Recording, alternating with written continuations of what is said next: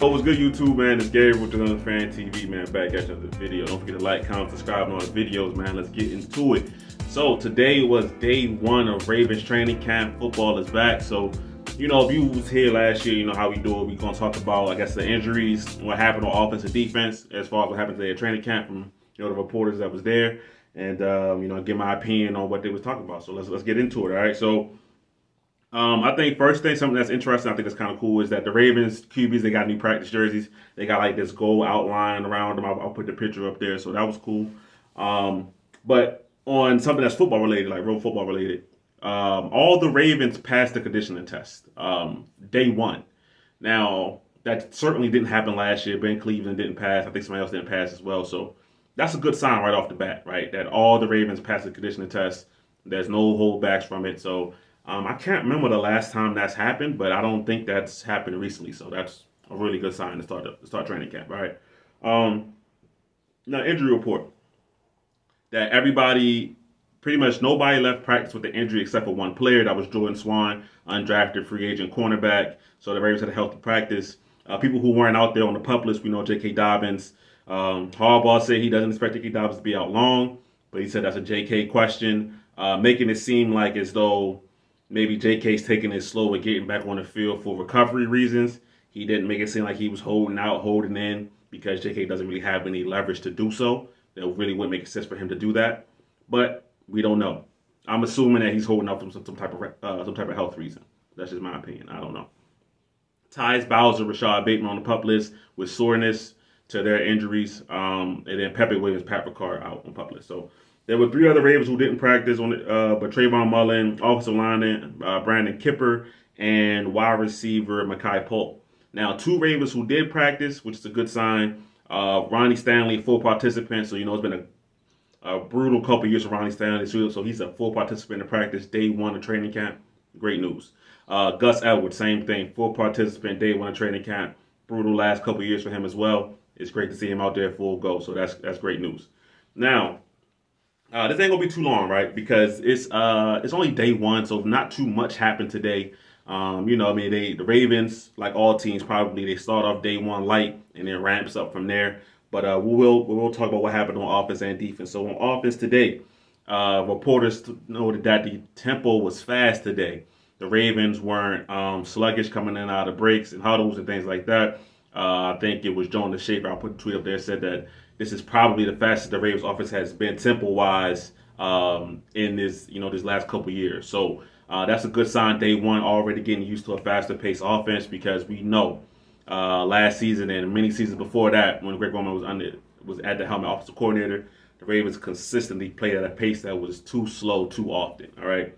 Um, and then listen, man, QB one Lamar Jackson was sharp today, accurate, especially underneath. He was quick to throw, got the ball out of his hands uh, made the right plays, made the right decisions. Uh, Zay Flowers impressed today. He, they say he might have had the most catches. Um, he was very active underneath. He even got um, caught a pass. Uh, I think it was near Roquan Smith, kind of zooming by him on a crosser route, showing off that speed. So things we like to hear like that. Uh, Odell Beckham. Odell Beckham was probably the most popular Raven. Just looking at their videos on the Ravens uh, Twitter page, uh, when he came out, the ovation was crazy. But he also did actually make plays on the field. He had a stop and go route on uh, Rock Ya-Sin, which led to a great throw by Lamar Jackson and a completion so deep down the field. So um, that's good. They already had that chemistry from working out in Florida. It looked like it's transferring over to day one. Uh, but, you know, hopefully that continues for this offense, who, who we expect to be really good, okay? Now, that's the opposite side of the ball. Um, on defense, man, uh, Kyle Hamilton had an interception today on Lamar Jackson, all right? Uh, he picked off Lamar Jackson. Lamar tried to throw a pass deep to Nelson Agholor, and Kyle Hamilton stepped in front. Well, not stepped in front, but went up and made the play on the ball, right? Um, one, that's great news. Well, that's, that's over the opposite side of the ball. I really don't care that Lamar Jackson threw an interception. That's, that's, let's start with that right there. Um, as long as it doesn't become a thing that's, you know, multiple or practice, whatever. Um, it's practices for to get things out, try new things. He tried a deep shot, it didn't come off. Doesn't mean he can't. He should stop trying them. It's a part of the game, right? So I just want to keep that part out of there first. Uh, on the Kyle Hamilton part, that's great, right? Making plays on the football is something that we need to see from our safeties. Um, and we already know we got Marcus Williams, who's a who's a ball hawk at safety. If Kyle Hamilton get his hands on the football, something similar to Marcus Williams, that's amazing. That means you have two safeties right there who can both hit, both tackle, and both make plays on the football. Um, you're making yourself a very, very formidable secondary if you got two safeties who can do that. So it's a good first day for Kyle Hamilton doing that. All right. Um, Odafe Oweh had what would have been a sack if you were allowed to hit the quarterback. Obviously, you're not. It's training camp. They have on different color jerseys for a reason.